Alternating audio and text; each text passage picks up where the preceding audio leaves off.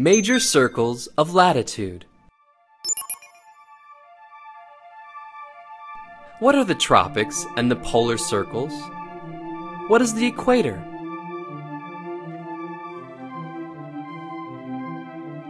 Different parts of the Earth's surface get different amounts of solar energy due to the 23.5 degree tilt of the Earth's axis.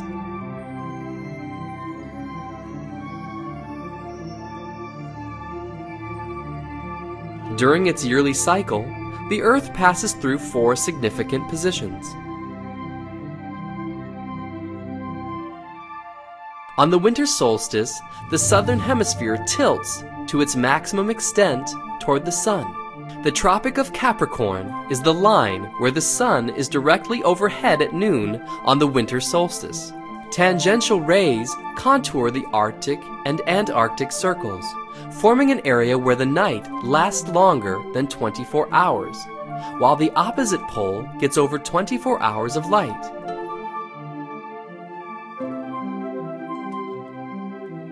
The equator is the line where the sun is directly overhead at noon on the spring equinox. Day and night have the same length at all places on the earth. The Tropic of Cancer is the line where the sun is directly overhead at noon on the summer solstice. The polar day occurs in the Arctic Circle, while the polar nights take place in the Antarctic Circle. The overhead sun is once again at the equator. Day and night have the same length at all places on the earth.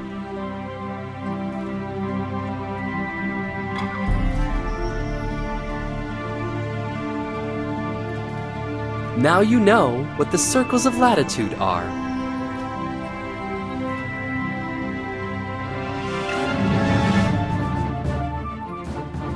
The Earth cycles. Let's see what changes from day to night. And from summer to autumn. What makes day change to night?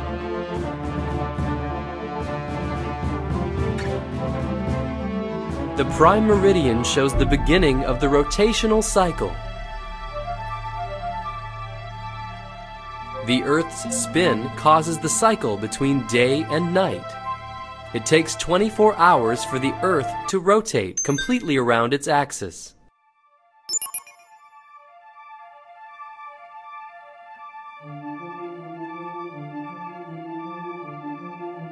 What causes the Earth's seasons? The seasons are caused by the tilt of the Earth's axis, which is 23 and a half degrees. The Earth revolves around the Sun in 365 days.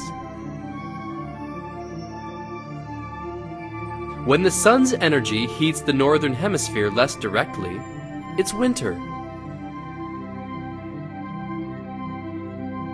March 21st or 22nd is the vernal equinox. This is when the length of night and day is the same at all places on the Earth. When the sun's energy heats the northern hemisphere most directly, it's summertime.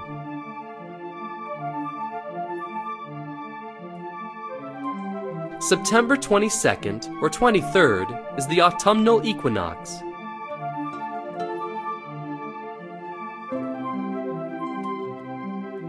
Now you know what causes day and night cycles and the different seasons of the earth.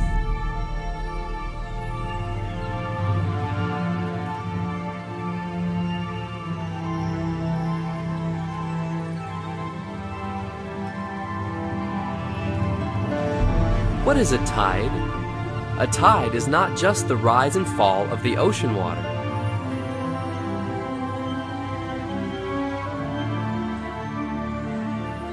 Tide is the movement of water caused by complex interactions between the gravitational and rotational forces of the Earth, Moon, and Sun. The combined forces cause the oceans to bulge out in the direction of the Moon. As the Earth rotates around its axis, the bulge is directly in line with the Moon.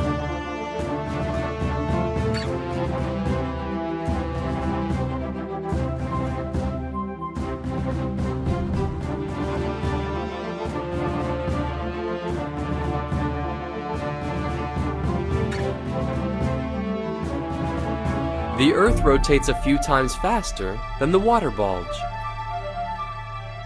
Therefore, the solid Earth moves toward the water bulge.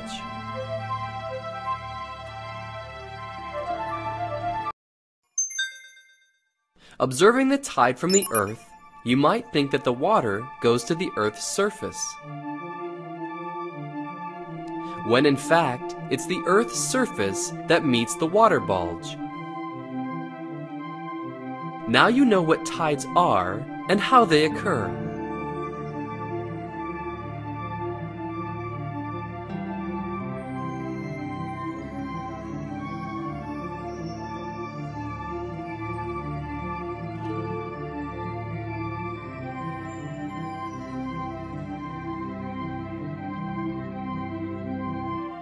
The phases of the moon.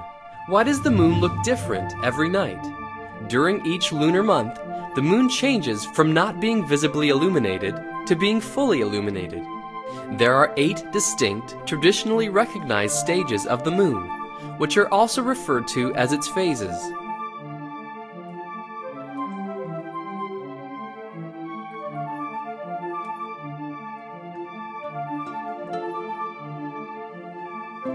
A new moon occurs when the moon and sun rise and set at the same time. The waxing crescent occurs two days after the new moon. The moon rises one hour behind the sun and follows it during the day. The first quarter occurs a week after the new moon. The moon rises at noon and sets around midnight. The sun and the moon are 90 degrees apart in the sky. The waxing gibbous occurs between the first and second week after the new moon. The moon rises before sunset and sets after midnight.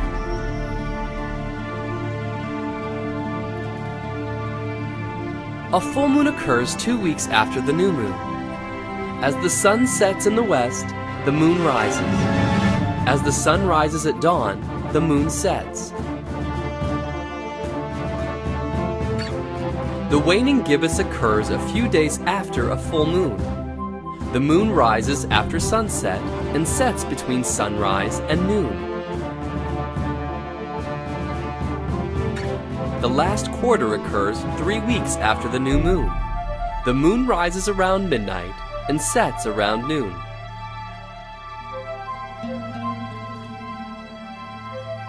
The waning crescent occurs during the fourth week. The moon rises in the east before dawn and during the morning. The moon sets ahead of the sun below the western horizon.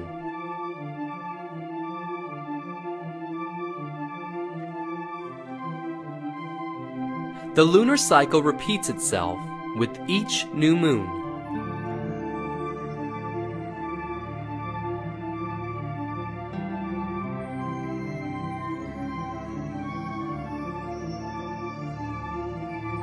Now you know why the moon looks different every night.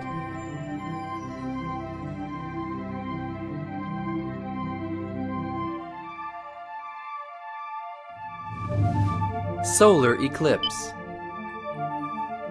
What is a solar eclipse and when does it happen? Any object that revolves around the sun produces a shadow. A shadow is divided into the umbra and penumbra. The umbra is the section where light is completely blocked, a total solar eclipse. The penumbra is the region where the light is only partially blocked, a partial solar eclipse. The track of the moon's umbral shadow is the path of totality. It is 10,000 miles long and 100 miles wide.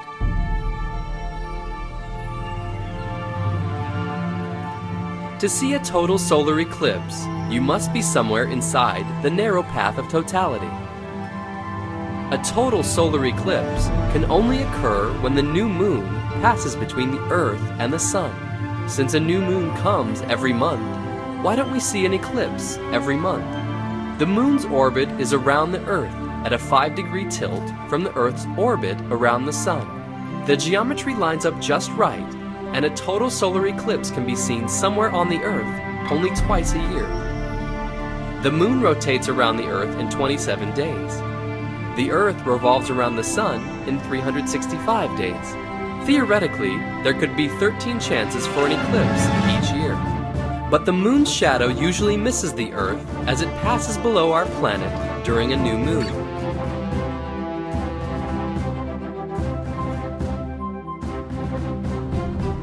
Here's the second time when people see a total solar eclipse somewhere on Earth.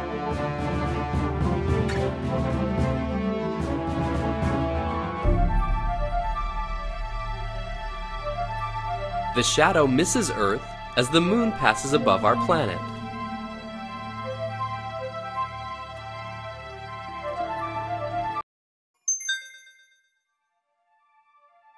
Now you know what a solar eclipse is, and why this phenomenon only happens twice per year.